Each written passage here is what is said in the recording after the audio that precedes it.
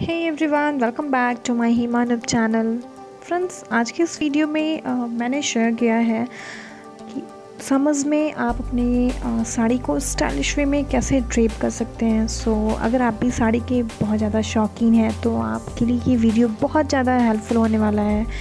क्योंकि इसमें आपको डिफरेंट डिफरेंट स्टाइल में साड़ी ड्रेप करने के बहुत सारे आइडियाज़ मिलने वाले हैं। सो so, अगर आपको ये वीडियो पसंद आए तो आप इसे लाइक एंड शेयर कीजिएगा। और हाँ मेरे चैनल पे अगर आप नए हैं तो सब्सक्राइब करना नहीं भूलिएगा।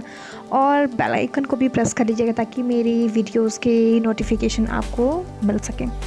सो फ्रेंड्स वीडियो को लास्ट तक देखिए क्योंकि उसमें आपको बहुत बहुत सारे आइडियाज़ मिलने वाले हैं। फ्रेंड्स हम सब समर्स में मोस्टली कॉटन साड़ियों को ज़्यादा प्रेफर करते हैं। सो इसलिए आपको इस वीडियो में कॉटन साड़ियों को ड्रेप करने के बहुत सारे तरीके मिलेंगे।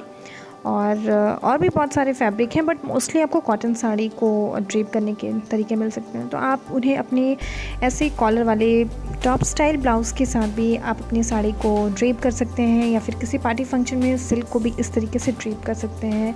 लिनन की साड़ियाँ कॉटन फैब्रिक में बहुत ज़्यादा ट्रेंड में हैं तो आप उन्हें किस तरीके से ड्रेप कर सकते हैं ये सारे आइडियाज़ आपको इस वीडियो में आ, मिलेंगे। और हाँ आजकल चूँकि जो कॉलर वाले ब्लाउज़ हैं या फिर जो भी टॉप स्टाइल ब्लाउज़ है बहुत ज़्यादा ट्रेंड में है तो उनके साथ साड़ियों को हम सब ज़्यादा ड्रीप करना पसंद कर रहे हैं। किसी भी फ़ंक्शन में हो उसमें भी अगर फ़ंक्शन में भी जाए तो भी या फिर ऐसे भी कहीं भी हम जाते हैं तो ज़्यादा पसंद करते हैं क्योंकि बहुत ज़्यादा कम्फर्टेबल भी होता है और स्टाइलिश लुक भी देता है।